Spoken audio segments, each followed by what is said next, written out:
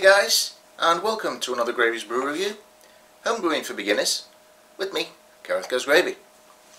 And for this one, as you saw from the title at the beginning, as you can see from the title below, but not by my uh, surroundings just yet, it's brew day. And for this one, I'm going to be brewing my first all grain beer. uh, and for it, as you saw from the title at the beginning, as I said, I'm going to be bringing you, excuse me, a Crafty Brews Stove Topper Session Pale. Let's give you a quick look at that label. And there are the particulars. A 4 litre batch at 4.8% ABV. Um, now I must admit, um, I did get the idea for this from a question that a friend and subscriber of mine asked a little while ago uh, in terms of uh, home brewing. Uh, question I was asked was was there a way to brew smaller batches of beer? Uh, at the time I said I wasn't too sure but uh, thanks to a couple of homebrewers here on YouTube um, I came across this kit. Um, don't think I mentioned it. Uh, from the UK based website brewuk.co.uk. I'll pop a link down there in the description.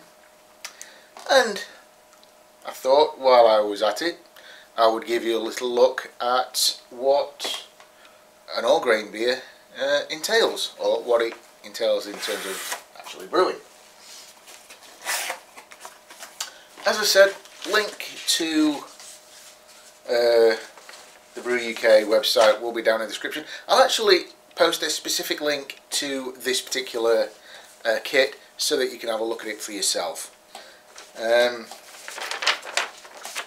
first off, as always, you need the instructions.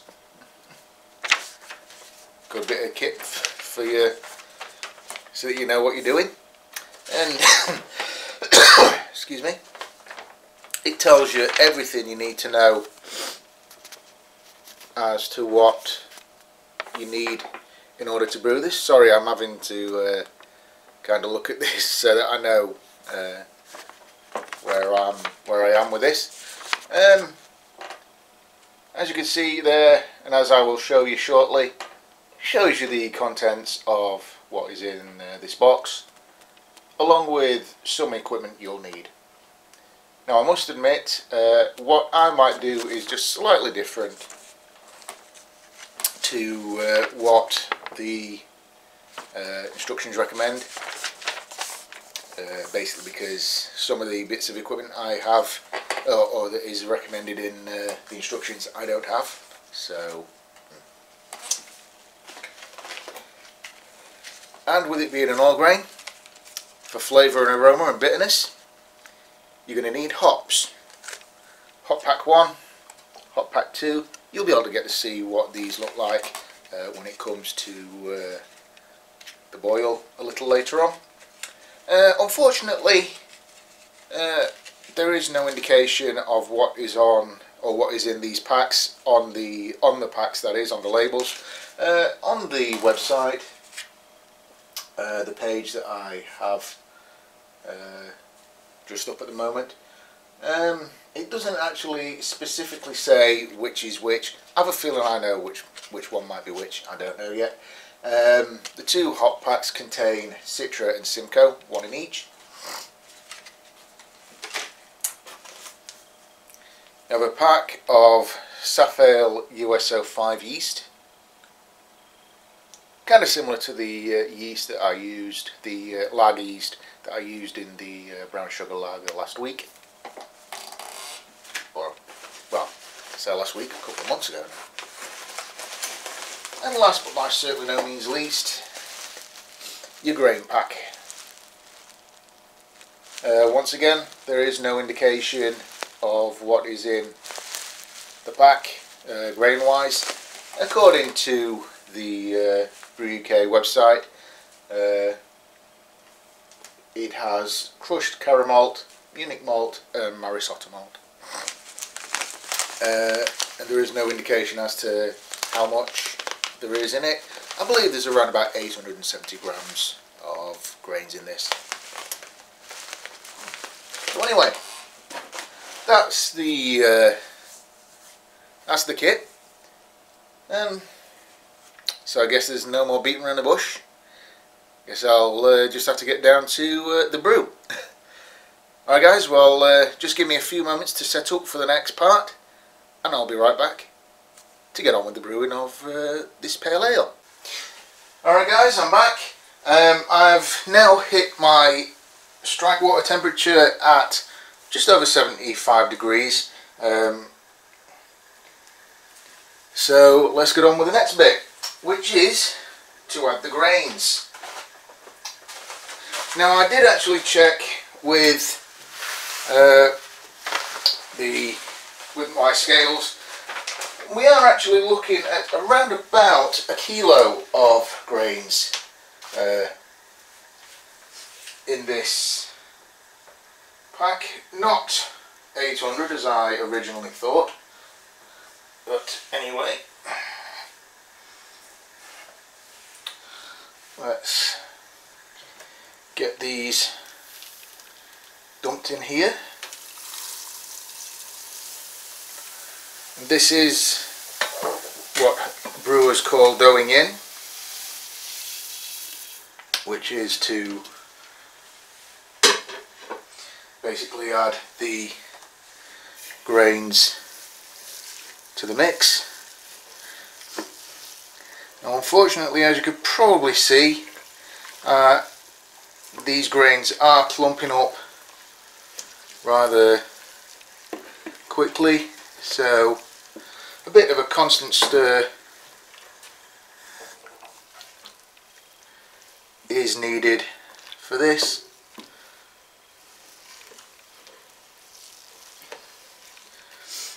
I'll get the rest of these in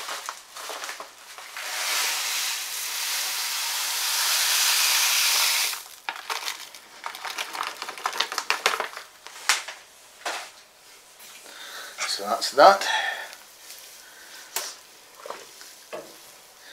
And once I've got these uh, grains all nicely mixed and they're all uh, submerged in the water what I'm going to do is I will check the temperature uh, with a bit of luck without the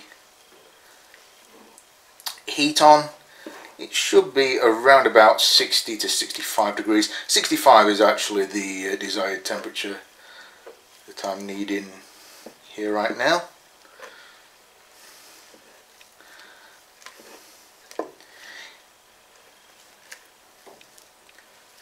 I might be stirring these just a bit too much but uh, oh, too much is uh, better than too little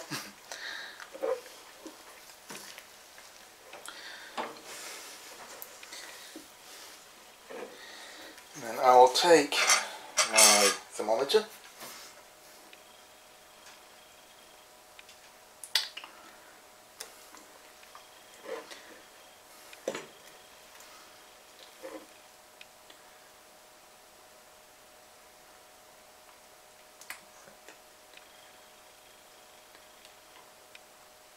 Still looking at 72 degrees. So what I'm going to do guys is just going to give these a stir for a little while longer. Might try and get the uh, temperature down to the uh, desired mash temp and then uh, I'll see you in an hour for the next bit. See you in a bit guys. Alright guys, we're back. Um, it's been just over an hour since I uh, started the mash. Um, I've managed to maintain the temperature of the mash around about uh, 64 degrees, 62 to 64, which hopefully won't be too bad.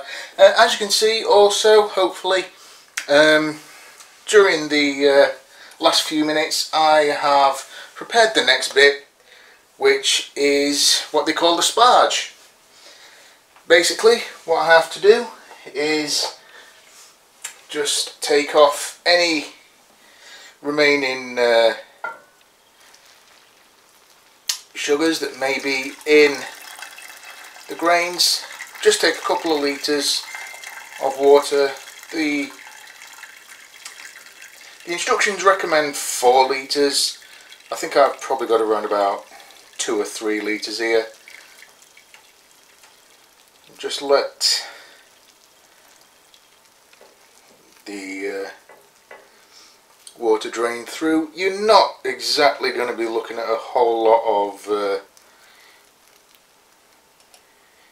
sugars being uh, used for this or being extracted for this.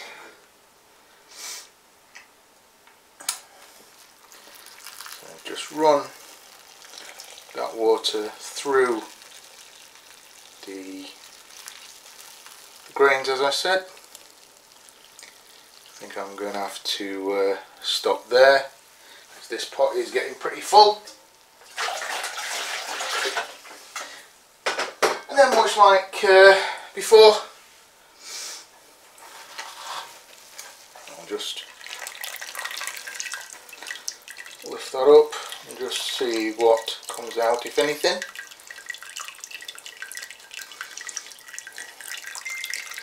I think we're looking at very minimal uh, amounts of sugars and waters here. So I'm going to put the grains and this colander to the side.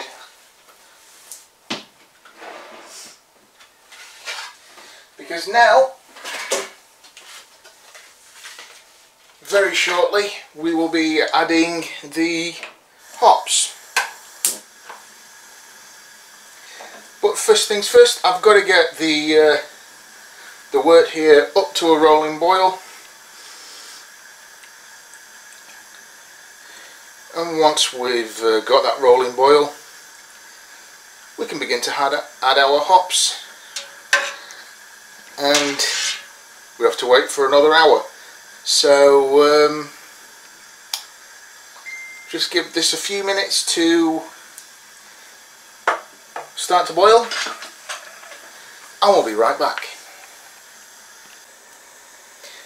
Alright guys, we're back and as you can see now I've hit the rolling boil.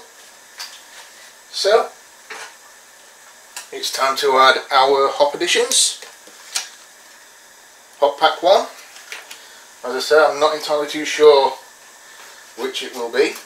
I would feel it will be the uh, Simcoe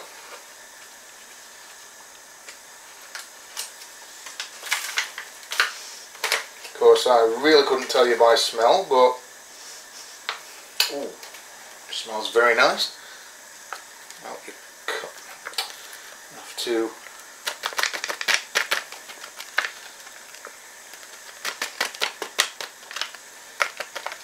come on out you come. Well, there we go. That's them all out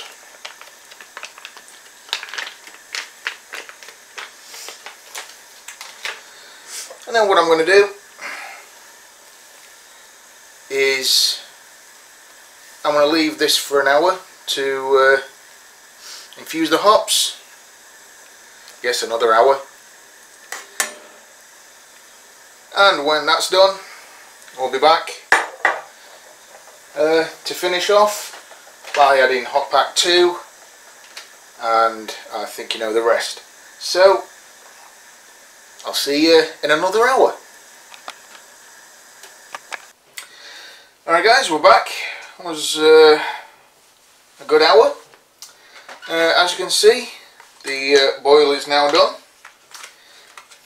So all that is now left to do, I will uh,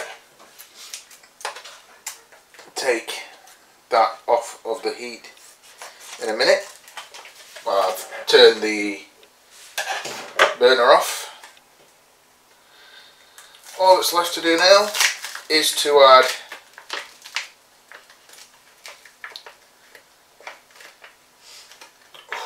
Oh, lovely.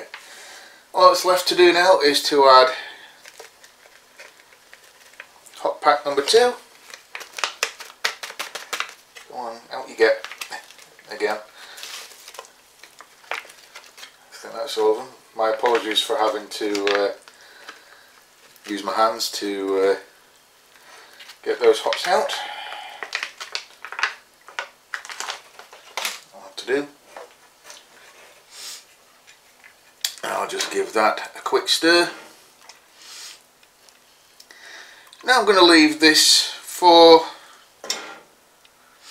about maybe 10 minutes. Let the uh, hops infuse, the second hop pack that is. And then in between times I'm going to uh, stick this pan in a in the sink with hot water, with cold water, excuse me. I need to get this down now to a temperature of around about 20 degrees because um, quite simply enough it is just about time to uh, pitch the yeast. Um, as I said I'm just going to let this infuse for about 10 minutes or so. Maybe a little longer. Um, get the temperature down again as I said to around about 20 degrees. Uh, transfer to the uh, fermenter and uh, pitch the yeast. I'll also do a gravity reading. I will be back for that final part. I can't leave you hanging uh, with uh, just up to this bit. I will finish everything off. Uh, but for now again I'll be right back. Alright guys, well we're back for the final part. Um, the wort is now chilled down to I think 22 degrees. The instructions say to get it down to around about 20. Again, I've got 22 degrees there or thereabouts for this wort. So all that's left to do now is to uh, pop it into the uh, fermenter, fermenter take a gravity reading and pitch the yeast. And one other thing I've got with us, second one while I've uh, been doing this brew uh, today, is a home brew. Cheers.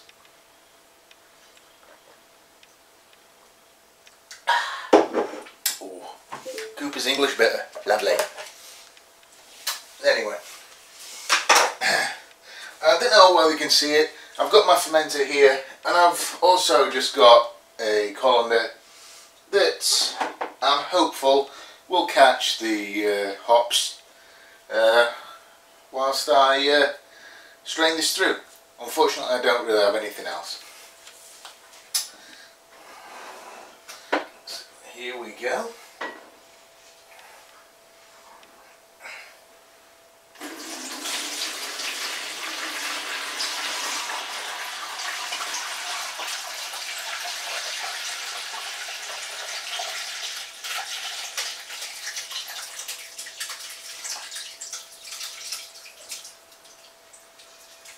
Ooh, if, you, you could see the amount of hops that has been left. Here guys, it's actually uh, quite crazy.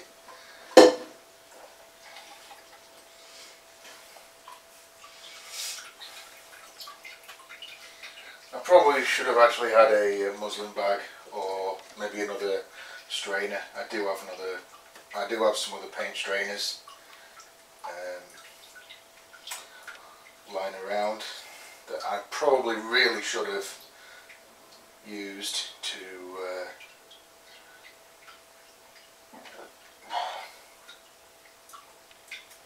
collect these hops. But anyway it doesn't matter because they're all going in the bin.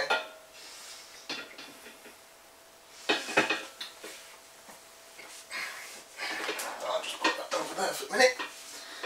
And one other thing the instructions say is that I am allowed to top this up.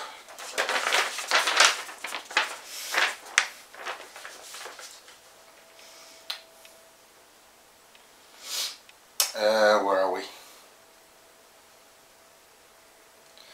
Yeah I can uh, top up using uh, water to, to the uh, five and a half litres so that's what I'm going to do right now. Mix of hot and cold. That I think will probably be probably be around about 22 degrees.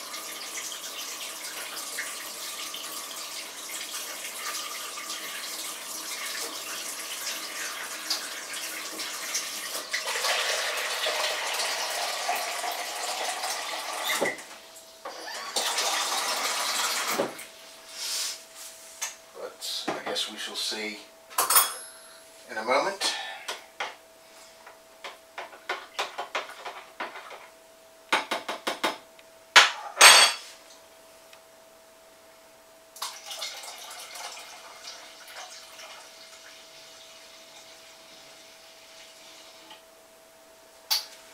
a bit more in, methinks.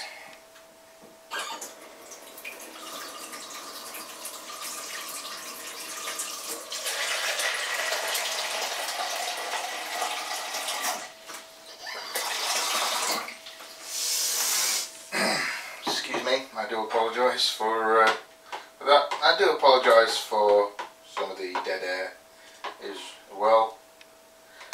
As I've said, this is the first time I'm uh, doing this, so uh, you'll have to uh, forgive me for having to really concentrate.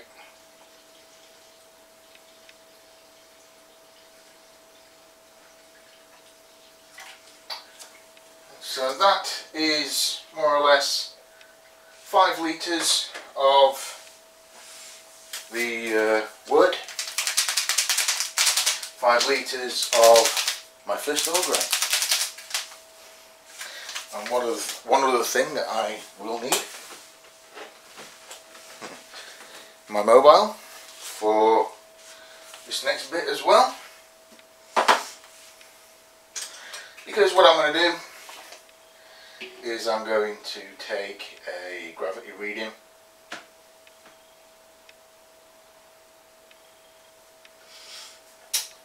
hmm. I probably should actually collect some of this in a trial jar so. Don't worry this jug has been sanitized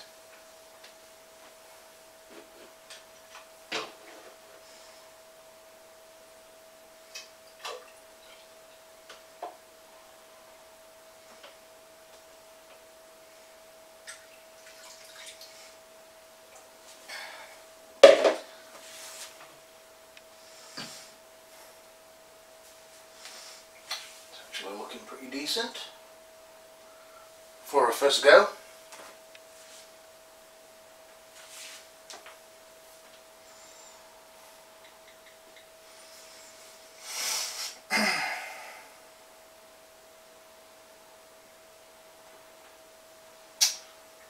okay, so we might be looking at around about, can't see this,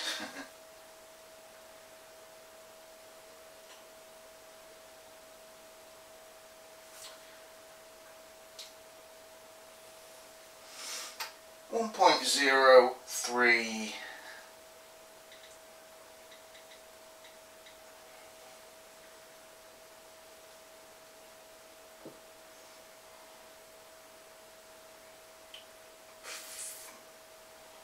five I'd say.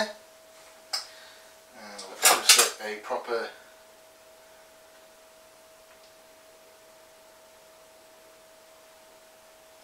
temperature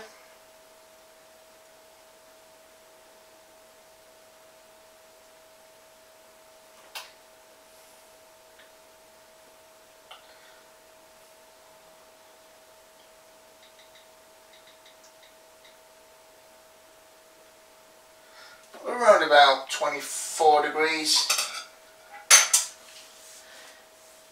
Oh, a little on the low side, 3.2%. I'm not actually disappointed with that considering uh, this is my first attempt at an all grain. I'm actually uh, I'm actually quite pleased with that. to say, as I've said, you know, this is my first all grain and I have gotten the, uh, you know, I've managed to do it hopefully. Um, so all that's left to do is to pitch the yeast. Now the instructions say to pitch only half the pack. I think I'm actually going to throw the whole lot in. Um, because I don't really have any other kits lying around to be able to do another small batch.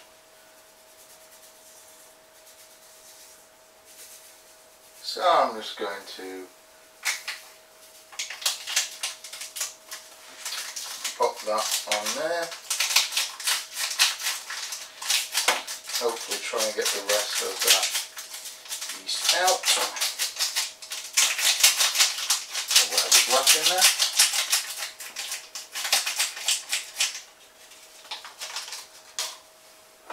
And for the moment I'm just going to pop on the lid. Alright guys, well this final part of the video took a little bit longer than what I hoped. Uh, I do apologise for the length. Um, I hope you uh, enjoyed this video guys. Um, as I said at the top of the video, um, I'm going to pop a link to uh, brewuk.co.uk, the specific link to where I purchased this kit and to what the kit is. Um, and if you're interested in getting it, again, link will be down there. Uh, I must admit, uh, I only know that this is a UK based website. I haven't really looked into this uh, website uh, much, um, so I don't know if they uh, deliver overseas. Um, I'm sure that anybody that might be watching this that is from uh, anywhere else in the world, you'll be able to find packs similar to this. Alright guys, well, that's all I've got for you for now. So, until next time, from Gravey's Brew Review, this has been Gareth Goes Gravy. I'll see you later. Cheers.